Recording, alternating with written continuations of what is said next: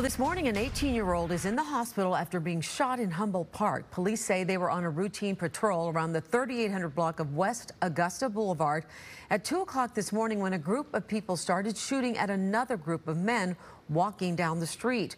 One of the bullets struck the windshield of the squad car. An officer in the squad car was injured by the shattered glass. Another officer was shot, but it hit his bulletproof vest.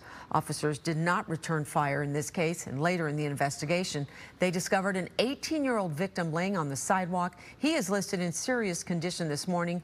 No one in custody, and police are looking into exactly what happened.